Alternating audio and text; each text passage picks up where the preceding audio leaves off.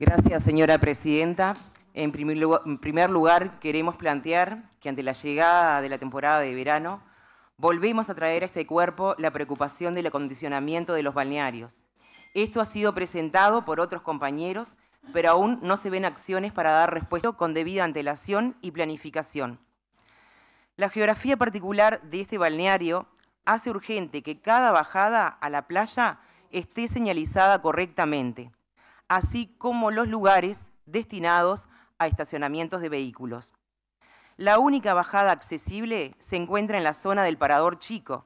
Sin embargo, muchos de los vehículos deben estacionar lejos de dicho acceso por lo angosto del camino y que acertadamente ya desde hace algunos años se estaciona sobre una sola senda.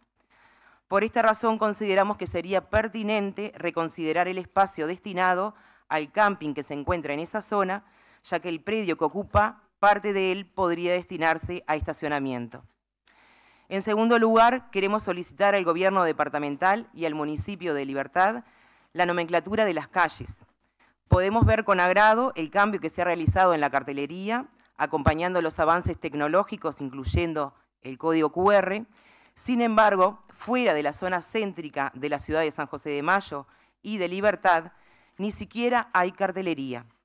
Consideramos que es necesario avanzar en la colocación de los carteles que den cuenta en qué calle se está transitando y en qué sentido.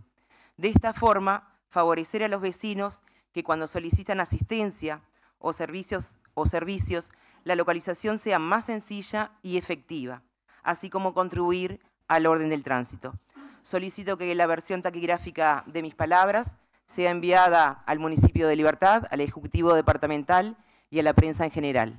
Muchas gracias.